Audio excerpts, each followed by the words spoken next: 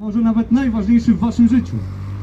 Nazywam się Ostasiewicz Jacek. Jestem synem Boga żywego. Synem Boga, o którym w tym kraju na pewno słyszałeś. Zbliżają się święta, więc będziesz obchodził urodziny, można powiedzieć, tak? Boże Narodzenie. Zastanów się w ogóle, czy na tym Bożym Narodzeniu, poza prezentami, choinkami innymi pierdółkami, będzie tam Bóg.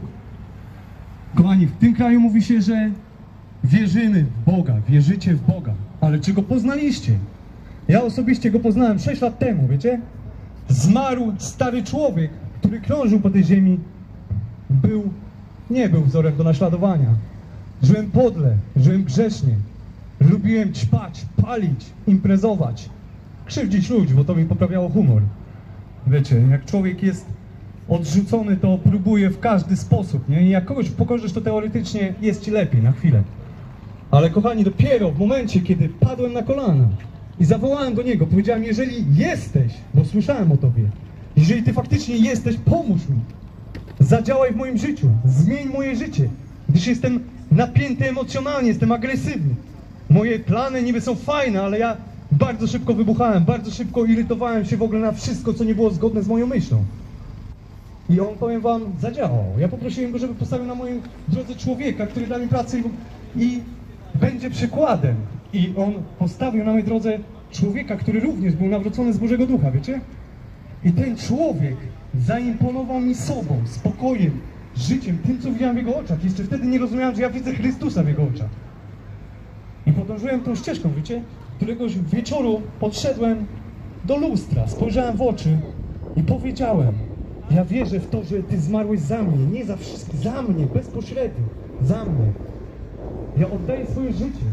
Ja chcę, żebyś Ty prowadził moje życie, żebyś Ty podniósł moje życie. I powiem Wam, że stało się. Stało się to, co miało się stać. Ja się narodziłem na nowo, odmieniłem się całkowicie.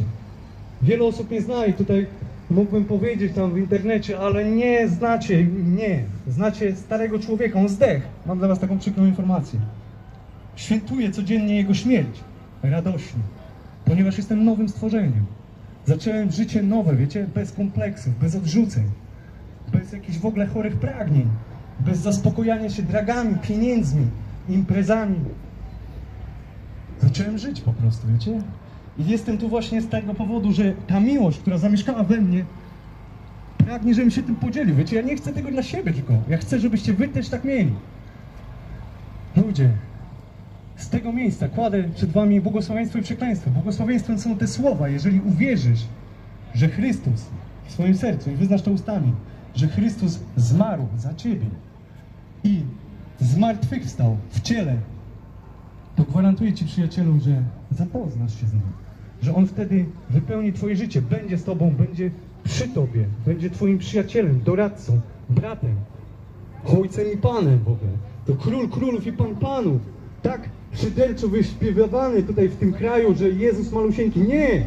To jest wielki Bóg, Jezus Chrystus. Jest największym kozakiem, jakiego poznałem. A znałem różnych pseudo-kozaków, wiecie, zakompleksionych i agresywnych, ale poznałem Chrystusa, który był kozakiem, potrafił uniżyć się. To jest kozactwo, wiecie? Potrafił się uniżyć i przyjść na tą ziemię, poświęcić swoje życie, cierpieć za Ciebie, za Ciebie, za każdego z Was, za mnie również.